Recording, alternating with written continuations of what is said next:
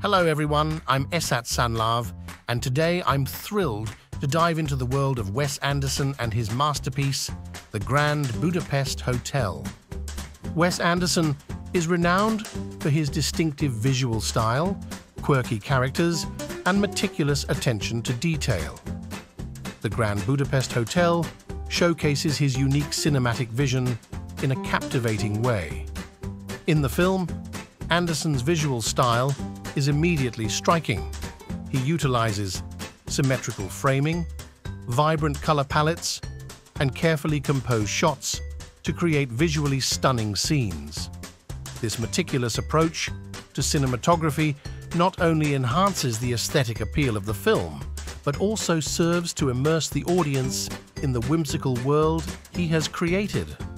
Anderson's thematic choices in The Grand Budapest Hotel are also noteworthy. The film explores themes of nostalgia, loss, and the passage of time, all presented through the lens of a quirky and eccentric narrative.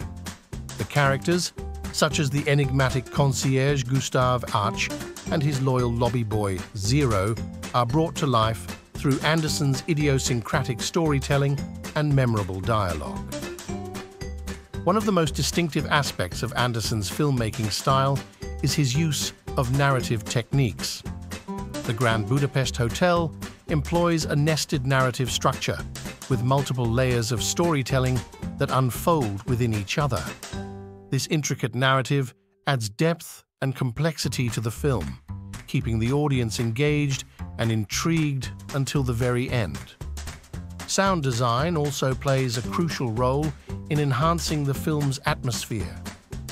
Anderson carefully selects music and sound effects that complement the quirky tone of the story, further immersing the audience in the whimsical world of the Grand Budapest Hotel. Overall, Wes Anderson's signature style enhances the audience's engagement with the film's themes and characters by creating a visually stunning and thematically rich cinematic experience. His meticulous attention to detail and quirky storytelling set the Grand Budapest Hotel apart from others in the same genre, making it a standout film in Anderson's body of work. Thanks for watching. Hope you enjoyed exploring Wes Anderson's world with me.